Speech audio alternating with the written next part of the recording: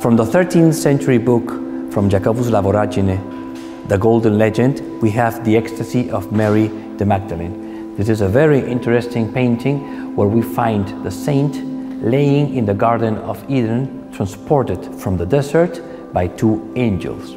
We will find at the center a lion and a deer, the hunter and the prey, together in peace. There are some symbols in this uh, painting which is quite, quite protected beneath a veil. We have death, which is vanity. We have the Bible. We have a perfume, and we have a black rabbit. So the vanity of the perfume and the lust of the black rabbit will tell us the image, and we will discover that we're talking about Mary the Magdalene. From the golden legend written by Jacobus Lavoragine in the 13th century, uh, we know that Mary the Magdalene, after the death of Jesus, left for three decades to the desert in a cave.